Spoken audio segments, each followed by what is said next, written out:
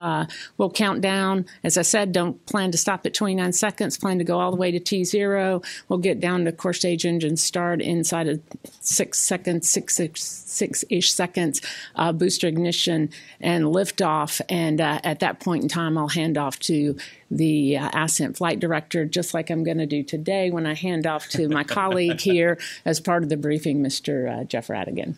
Thanks, Charlie. It's a great day to be here talking to you all. Uh, you know, over Mission Control. Of course, we're doing our final simulations, getting ready.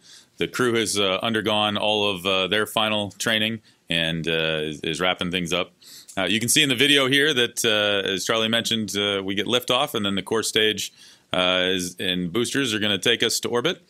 And it's, it's going to be a, a, monumental day. We're, we're really looking forward to it. Let's see. So I will talk through a little bit of just an overview of the mission. Of course, we'll get the boosters jettisoning there couple minutes into launch, and then the core stage will uh, boost uh, the upper stage, ICPS, and the Orion spacecraft into orbit. Uh, at that point, uh, we'll actually uh, separate from the core stage and uh, then go ahead and deploy the Orion solar arrays, setting ourselves up into a low Earth orbit to start. We'll spend a couple hours in low Earth orbit. And then the, the upper stage will do the apogee raise burn, that will take us uh, into a high Earth orbit where we'll spend about 24 hours checking out the Orion systems, life support systems, crew systems, uh, ensuring everything's ready. Uh, along the way, we're going to do a, a ProxOps demo. And uh, see, once I think once this video uh, completes, we'll cue the uh, the ProxOps demo video. And the crew is going to get a chance to fly the Orion spacecraft for the first time around the upper stage, and that's going to be great for us.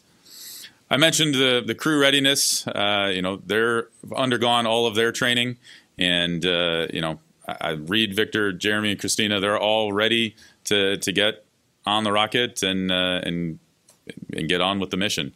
Um, you know, it's one of the interesting things. I, I don't think they can get enough training. Uh, you know, you always want more to the point where we're actually installing. I think their uh, their cockpit in quarantine, so they'll be able to do some last minute training. But uh, you know, from my perspective, they're ready to go. Here you can see a video of uh, the ProxOps demo of what we're going to do. We're actually going to separate. We're going to turn Orion around. And then uh, the crew is going to pilot the spacecraft around the upper stage, the ICPS. This is what uh, is going to give us data to ensure that we can dock on future flights. We're all looking forward to being able to dock uh, with a Starship in the future or uh, a, uh, a, a blue uh, lander. And uh, on Artemis 2, we're going to ensure that all of our models, all of our systems work successfully to be able to do those future dockings uh, as we're in that high Earth orbit and doing a checkout. Let's see, after we get uh, into that high Earth orbit and we do the, the checkout, of course, we'll consult with uh, Mr. Honeycutt and the mission management team, make sure all systems are go for, uh, for the translunar injection burn, and we'll take the crew to the moon. So let's see if we can cue the next video, please. It takes three days to get to the moon, and uh, you know the crew along the way is going to be doing uh, some additional, more detailed checkouts of the spacecraft. We'll ensure that we've got a, a, good, healthy spacecraft before we leave Earth. But then, of course, this is a test flight. We want to put Orion through its paces. And then, as we fly by the uh, the far side of the moon here, the crew is going to spend a day in lunar observation. So they're going to, eh, you know, basically spend uh, the day giving their observations on the far side of the moon, which uh, hasn't been seen, you know, parts of it hasn't been seen by human eyes before. So that'll be a great opportunity. And of course, they're going to take a, a, fair amount of video and, uh, you know, just have those observations. Uh, I will, I will caution you that they're a long way from Earth and signals are uh, a little weak at that point. So we will get some video down, but uh, the real, the real high definition video will be post flight when they come back finally they're going to you know head on back home here and get ready for entry. Um, it, it's uh, it's a long mission. Uh, you know, three days there, a day around the moon, and three days back. Uh, all of that to say that we have to set them up for entry successfully, right? Our our you know one job, as as Mr. Honeycutt said, is to bring the crew home safely. We need to hit the right entry interface corridor and bring them home. And uh, once we do that, then uh, the Orion will uh, split into two. We'll have the, the CMA and the service module come off the crew module, uh, which will then uh, come through reentry. And uh, you know we've got a, a, whole series of parachutes that slow down. We're, we're going much faster coming from the moon than we are in low Earth orbit. and so we need to slow down a little bit more, and it takes more parachutes to do that. Um, and so here we've got a video of uh, what the reentry sequence looks like. Of course, the crew is protected by the heat shield, and uh, we'll go through a blackout period where we can't talk to them, and then come out the other side uh, underneath the parachutes. Let's see. I do want to mention this. This is a test flight, and uh, there's things that uh, are going to be unexpected. You know, I think we've prepared for those as much as we can, and we're very much uh, looking forward to uh, flying this mission successfully with the crew and learning what we need to on Artemis 2 uh, moving forward and, uh, and paving the road for future Artemis missions. Let's see. Uh, next, I'll hand it over once uh, once the video here completes and the uh, the crew gets down safely. Of course, we hand things over to Lili and uh, her recovery team to go pick them up. Thank you, Jeff. If you can't tell, I'm just a little tiny bit nervous. So I want to really talk to you about recovery, and uh, I represent such a wonderful team. So bear with me. Uh, my name is Lili, and I'm the NASA Artemis Landing and Recovery Director. I'm going to walk you through the process of how we will safely recover the Artemis 2 crew and the Orion spacecraft once they return from their trip around the moon. Uh, within 24 hours of splashdown, we will be positioned in the Pacific Ocean within miles of the targeted recovery site, which is normally off the coast of San Diego. Uh, the recovery ship will approach the landing zone, and a team of Navy divers and in small boats would deploy from the ship into the open water. Prior to splashdown, a team from Johnson Space Center will map where the elements uh, are jettisoned from Orion, such as the forward bay cover, the drogue parachutes, and the mortars. And this is to make sure that our boats and helicopters supporting recovery stay clear of all this debris. Uh, the divers will be the first to approach Orion, and they will conduct assessments of the air and water surrounding the capsule to make sure that it's safe to approach and help the crew exit Orion. After ensuring the area is safe, they'll open the Orion hatch and help the astronauts from their seats to a large inflatable raft called the front porch. Uh, once all the four helicopters, uh, sorry, once all the four astronauts are on the front porch, we will tow the capsule away from the front porch, and the team will wait, uh, pick up from the Navy helicopters, which are deployed from the recovery vessel. Uh, two helicopters are going to rotate, picking up all the four crew members before they return to the recovery ship uh, within a few minutes of each other. Uh, once the crew has exited the helicopters, they're going to proceed straight to the ship's medical bay to undergo uh, routine post medical uh, checkups.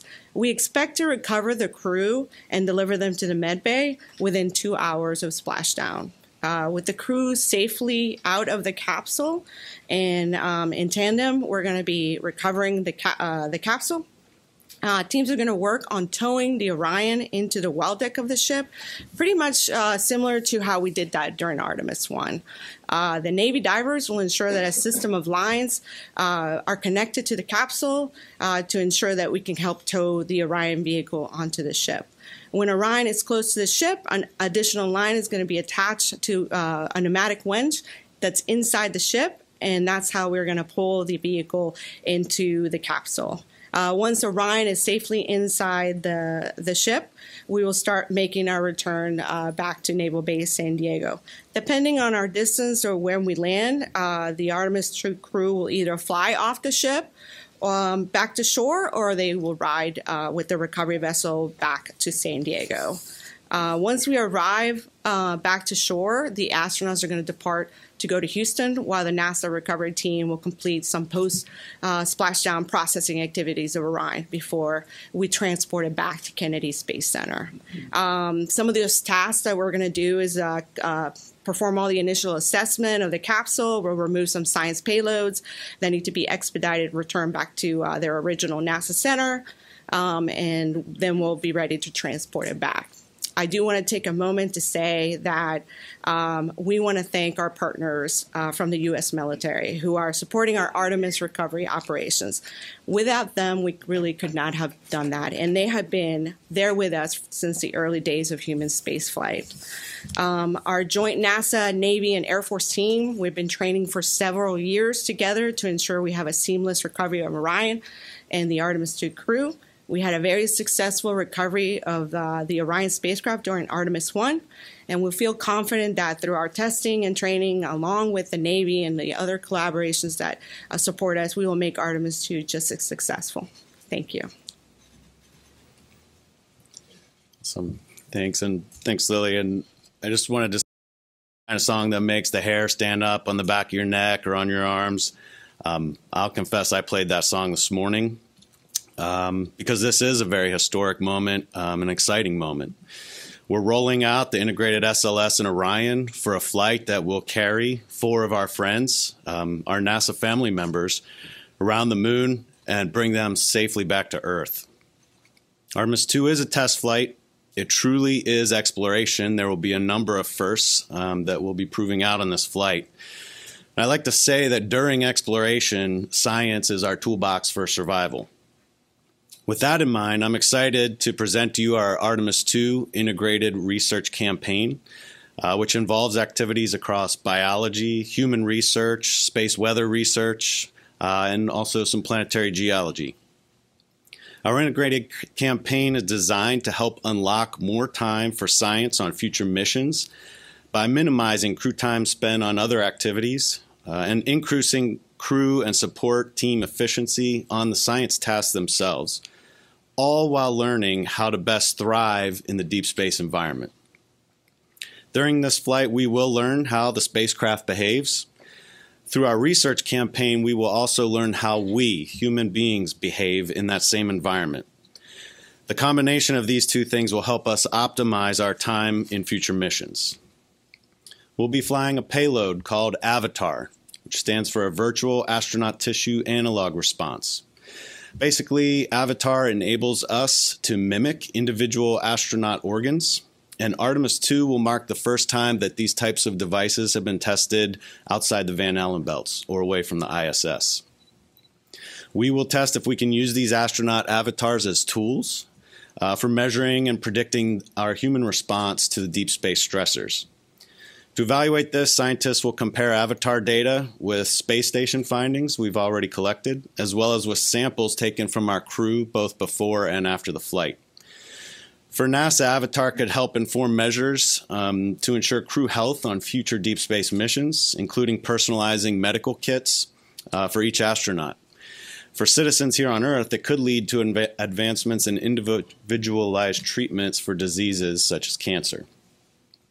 We'll also be flying uh, an activity called Archer, Artemis Research for Crew Health and Readiness. For the Archer study, crew members will wear movement and sleep monitors uh, called actigraphy devices uh, before, during, and after the mission. These wristband monitors will enable us to study real time health and behavioral information for the crew members and help scientists study how crew members' sleep and activity patterns are affected um, and how overall health and performance is affected. The study will evaluate how our crew members perform individually, as a team throughout the mission, including how easily they can move around within the confined space of their capsule. We'll also measure a set of immune biomarkers. For the immune biomarker study, crew members will supply saliva samples through the flight, um, and they have done so on Earth and will do so when they return for comparison. Scientists will gain insights into how the astronauts' immune systems are affected by the increased stressors of the radiation environment, isolation, and distance away from Earth during deep space flights. We'll also extend a set of ISS activities to the moon called Spaceflight Standard Measures. Astronauts will collect a set of measurements spanning multiple physiological systems to provide a comprehensive snapshot of how spaceflight affects the human uh, body. We will conduct also physiological assessments, including testing their head, eye, and body movements uh, before, during, and after the spaceflight, and that will be compared with blood samples that are taken before and after the flight as well. As soon as possible after landing, the crew members participate in basically an obstacle course to see how quickly they can function soon after going through a gravity transition. A few days later, they'll conduct a simulated spacewalk and will do various tasks in a pressurized uh, spacesuit again to investigate how quickly, again, they can adapt to that train, uh, that change in gravity. That prepares us for landing on the moon and eventually down the road going to destinations such as Mars. During the flight, we will make measurements with a suite of radiation sensors. You may remember that we've done, did something similar during Artemis 1. Crew members will keep detectors in their pockets of their suits so that we can measure their individual exposure uh, in real time during the flight. Two other sets of sensors will also be placed in Orion. One will monitor radiation at different shielding locations in the spacecraft so that we can gain a better understanding of what the radiation uh, protection uh, does for our crew members on board. Uh, we will also be partnering with the Germany Aerospace Agency, or DLR, to provide sensors similar to what they provided during Artemis 1. And we, the crew will deploy these around the Orion again to give us a comprehensive view of that radiation environment. Last but not least, a very exciting aspect to it is uh, the ability to observe the moon. Uh, so you've heard a little bit about that already. Um, and if we could cue up our first image here, our crew will take time to observe the moon as they pass around the far side of the moon. Far side is the side of the moon that we never see from here on Earth. The moon will look about like holding a basketball at arm's length to them uh, from the Orion. Um, and if we could cue up the second image as well now, just to give another look here. Depending on when the mission launches and the final flight path, it's possible they'll see parts of the moon that they that have never been viewed by human eyes. All of the Apollo missions launched uh, for the landing to occur in the early lunar morning. A lunar day includes 14 days of sunlight, 14 days of darkness. Uh, so basically, the crew that were flying around the moon all saw the same lighting conditions. So this could be a very unique opportunity to see the moon. We'll be asking them to look for things like albedo differences, variations in uh, the grayscale that human eyes really can detect.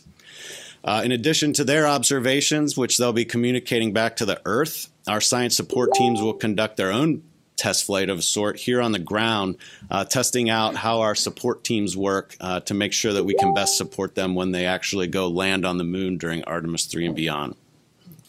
One last piece to our Artemis II science activities includes the deployment of four international CubeSats. Uh, could we go ahead and cue up that image? Artemis 2 mission has provided us with the opportunity to deploy four CubeSats. Uh, those are basically shoebox sized uh, payloads that essentially act as their own spacecraft once we deploy them. Uh, our partners in Argentina, Germany, Korea, and Saudi Arabia are all partnering with NASA to take advantage of the opportunity that we have with Artemis to fly uh, their own CubeSats. Each has its own objectives, but in general, all of the CubeSats are conducting complementary space weather measurements to the types of research that NASA's doing. So we're excited to provide this opportunity to our partners as we lead the way in uh, space exploration and ex- exploration of the moon. So, real quick to conclude here, our integrated research campaign for Artemis 2 builds upon what we learned in Artemis 1, and it sets the stage for successful exploration of the moon and ultimately onto Mars. Our campaign will help us understand the space weather that we'll face during future lunar missions, uh, how to observe the moon and communicate with the support teams here on Earth, and in general, how we will react to, survive, and thrive in that deep space environment. Therefore, I like to say that Artemis 2 science is the science of us. Artemis 2 science is the science of humankind and how we'll act as we continue to press the boundaries and explore in deep space. Thank you very much. Back to you, Rachel. All right, we'll go ahead and take questions uh, for